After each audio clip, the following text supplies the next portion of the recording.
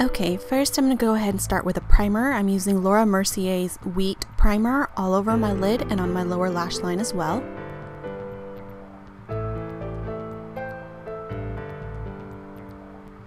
And once that's applied, you're just going to take some tape and apply it to the outer part of your eye like this.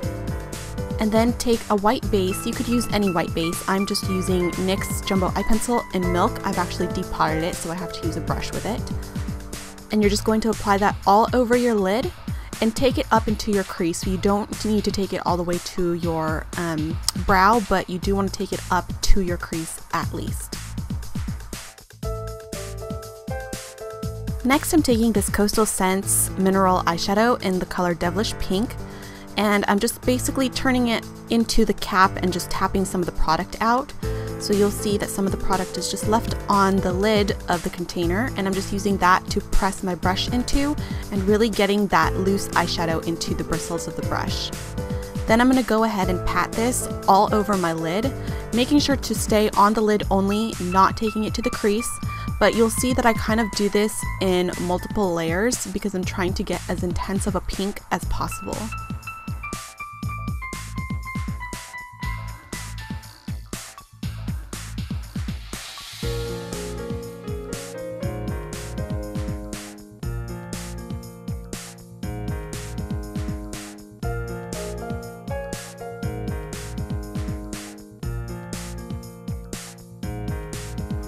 Now I'm taking another Coastal Scents eyeshadow. This is the Coastal Scents Hot Pot in Timeless Taupe. And I'm taking this with a fluffy brush like this. And I'm just applying just a little bit and I'm going to basically blend out the harsh line of that hot pink. And I'm just going to blend just the edges of the pink.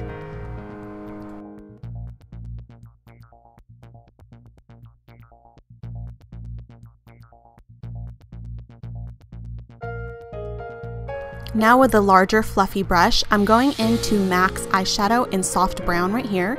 And I'm using this to blend out any type of harshness that I kind of have on my eye from that taupe color. And I'm just blending it into that taupe.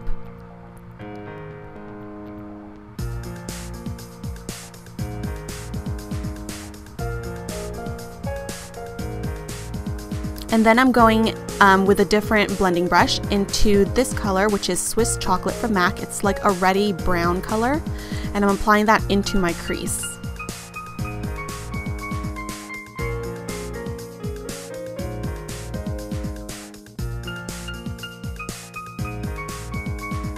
So last minute I decided to go darker. This is another Hot Pot from Coastal Scents in the color Cherry Chocolate and I decided to place this into my crease right over top that Swiss chocolate color.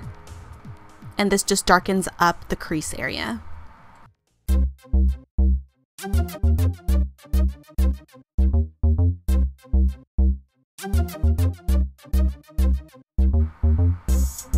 Now going in with MAC's Rice Paper as my highlight, I'm using an angled brush to apply this right underneath my brow. And you'll see that I'm just gently patting it underneath my brow because I did clean up my brows with concealer, so I'm just setting the concealer pretty much and just kind of sweeping it downwards very slightly. And I'm also taking the tip of this brush and applying rice paper right to my inner tear duct. And at this point, you can go ahead and remove the tape. Just gently remove it, no need to really pull. So your eye should look something like this at this point. Now you just want to take your black liquid liner, I'm using L'Oreal's Lineur Intense, and you're just going to apply a very thin line, thin from the inner corner going thicker as you go outwards. And I'm doing a little cat eye shape. You could not wing it out if you don't want to, but I like to wing out my eyeliner for every day, so it's just normal for me to do this. And I'm actually going to be doing a double winged liner. I don't have a tutorial on how to do a double wing liner, but you'll basically kind of see the concept of it as I'm drawing it on.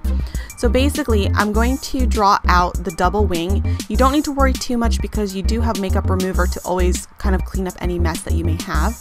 But I'm only doing the outer part with my liquid liner. I'm going to finish off the lower lash line with a brush and my MAC Fluid Line in Black Track because I like it a little bit better than a liquid liner for my lower lash line. But um, the reason I'm used it for the outer part is because the felt tip on my liner brush is actually much thinner so it can do a thin, thin double wing liner.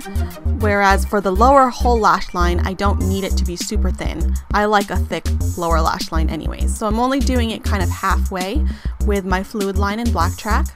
And I'm just stopping there and the rest of my lower lash line I'm going to fill in with the glitter, which is coming up. But first you want to go ahead and fill in between both of the winged lines and I'm going in with my angled brush from Sonia Kashuk and I'm applying a little bit of NYX Jumbo Eye Pencil in Milk and I'm just going to top that off with a little bit of rice paper highlight just to kind of set that cream shadow and I'm going to clean up the lines with my liquid liner. So now I'm going to go in with my pink glitter. This is MAC's glitter eyeliner in Kitty Power, which was a limited edition with the Kitty with the Hello Kitty collection. But um, you can use any liquid liners that have glitter in it. My recommendation would be NYX or Urban Decay makes some really amazing glitter eyeliners. Or you could use the glitter method that I used in my last tutorial. You can click the link somewhere on the screen and it'll take you straight to that tutorial. Now I'm just going to go ahead and apply some mascara. And then I'm going to apply some falsies.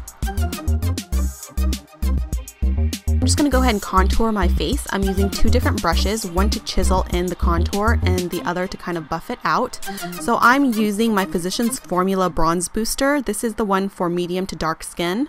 And I'm just applying a really harsh line on my cheekbones. As you can see here, it's going to look a little bit ridiculous. And then I'm just going to go ahead and blend it out using the domed brush that I have here from Real Techniques. And then I'm going to buff all that out using a kabuki brush.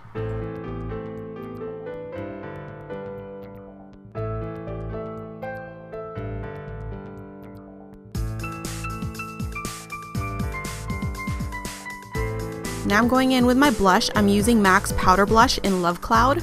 And I'm just going in with a Real Techniques blush brush and I'm just going to apply this to the apples of my cheeks and then in the end I'm just going to kind of blend it out using my kabuki brush again.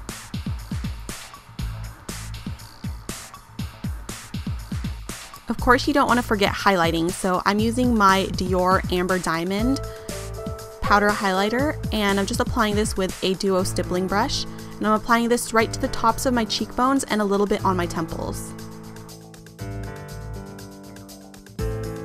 For my lips, I'm keeping it fairly nude because of the eyes are so intense. I'm using MAC's lipstick in Blankety, and I'm not using any lip liner because I usually don't when it comes to nude lips. So I'm just going to apply this all over my moisturized lips. And that is all for this whole look, so it's pretty simple, right? Um, now I'm just going to go ahead and fix up my hair and put on my dress and I should be all set.